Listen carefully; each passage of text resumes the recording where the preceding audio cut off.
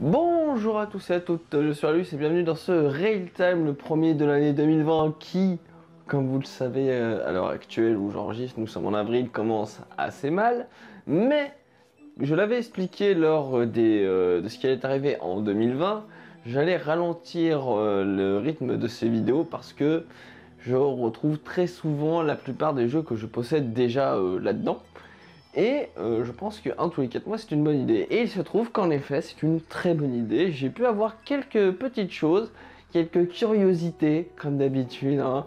quelques DVD, pas mal de jeux, et deux trois trucs qui peuvent peut-être vous parler ou qui peuvent attirer votre attention d'ailleurs. Si vous noterez que j'ai ce petit, cette petite chose, cette petite queue pour attirer votre attention euh, durant toute la durée de cette vidéo. Voilà. Comme ça, le watch time, il est pour moi. On va commencer rapidement avec quelques petits trucs, notamment un double DVD des Guignols, Lanier et des Guignols. Donc c'est 2012, 2013, 2014. Ça traînait dans un os en début d'année, je me suis dit que j'allais le prendre.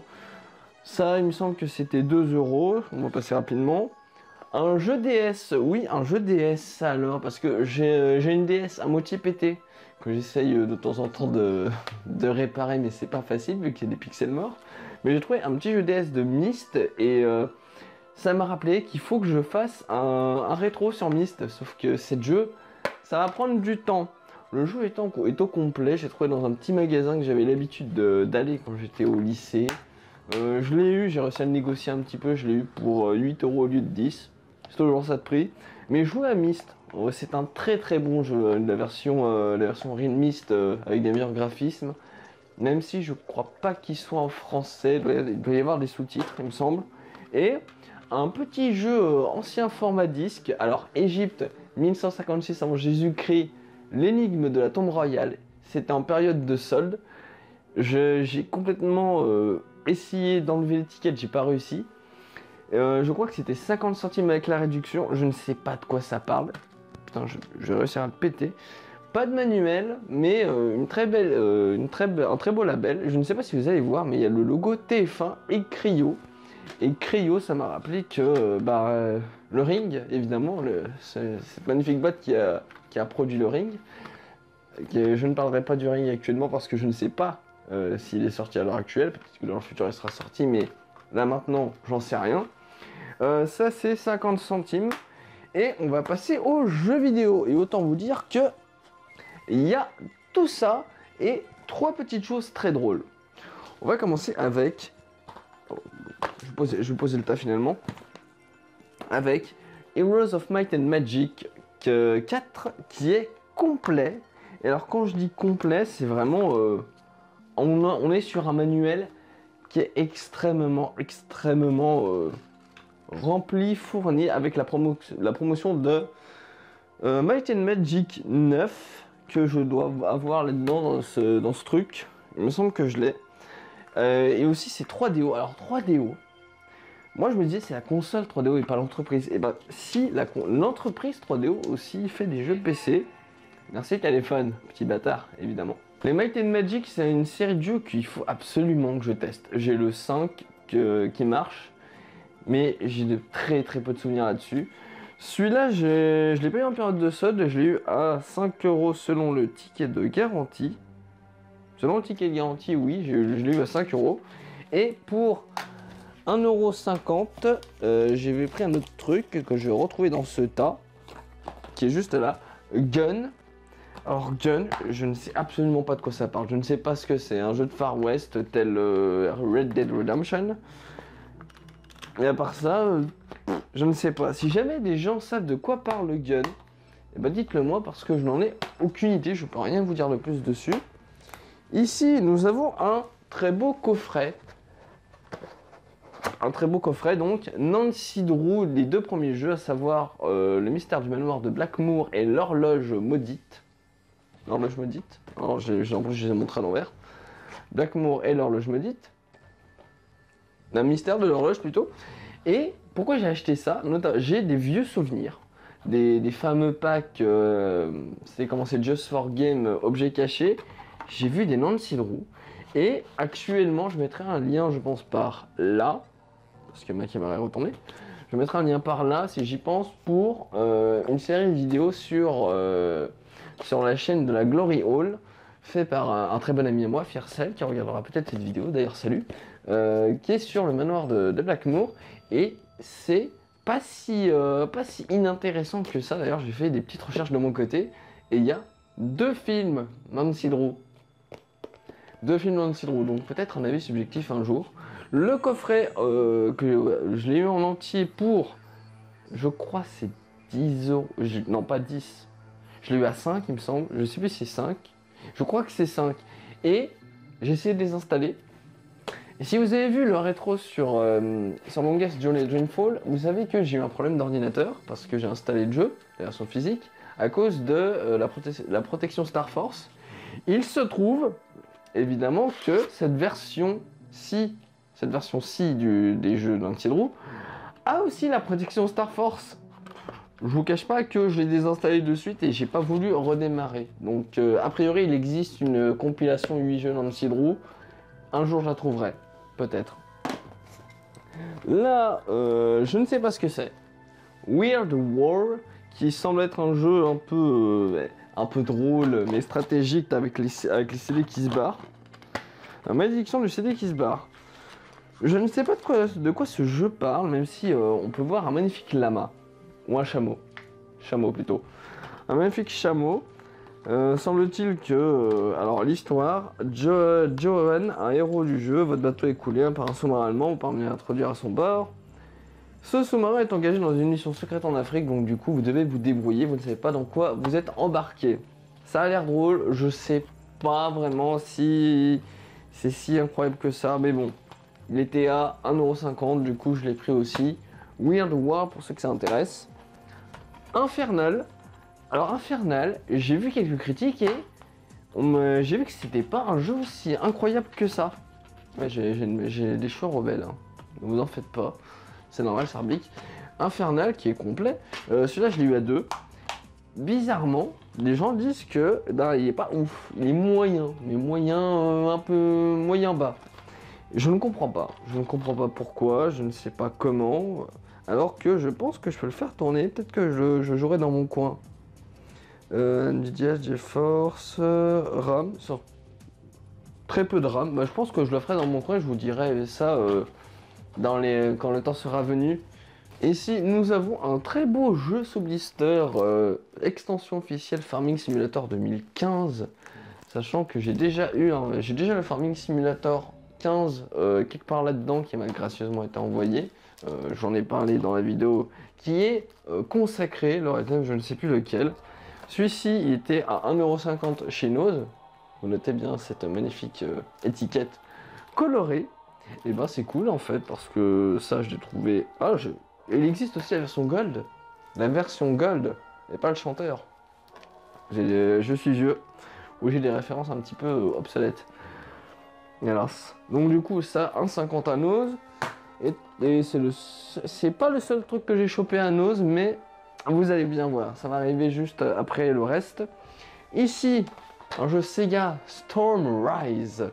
Euh, choisissez le camp, side ou échelon. Un jeu game sur Windows complet. Je l'ai eu à 2 euros. Je ne sais pas de quoi ça parle.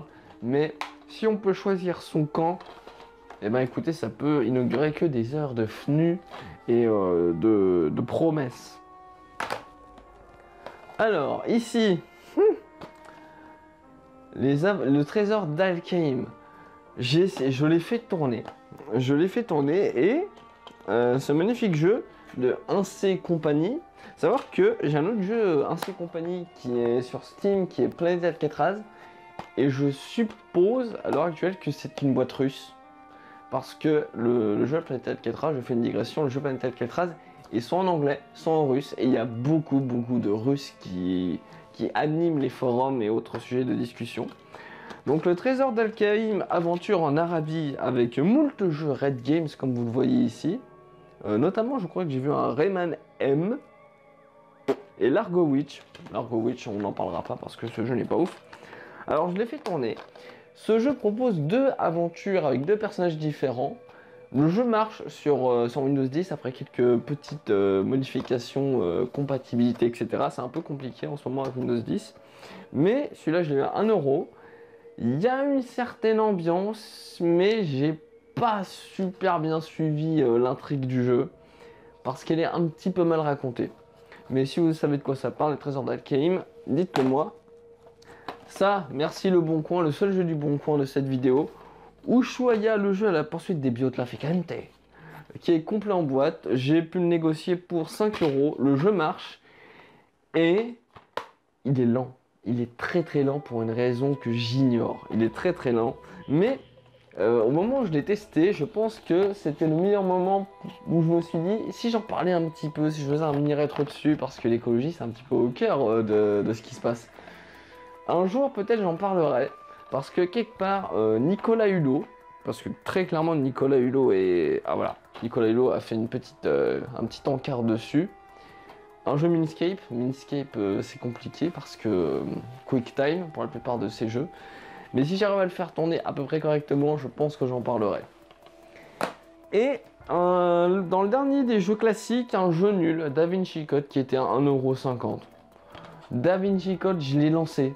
J'ai fait la première mission je me suis fait chier. Je me suis vraiment fait chier. Il n'y a rien qui vaille. Que dalle. La première énigme, la première énigme, elle est dure. Elle est vraiment dure. Du coup, j'ai lâché le jeu, je suis allé voir une soluce et puis euh, bon, j'avais des souvenirs du film, j'avais des souvenirs rapidement du jeu quand il était sorti et effectivement, il n'est pas incroyable.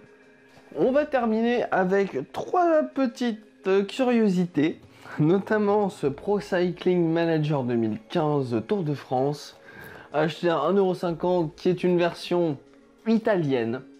Vous ne croyez peut-être pas, mais je vous laisse regarder. C'est effectivement une version italienne ou espagnole. Je me suppose même que c'est en espagnol ou catalan, je sais jamais, vu le, le, petit drapeau qui est juste là. Je trouve ça marrant de trouver des jeux à nose dans d'autres langues.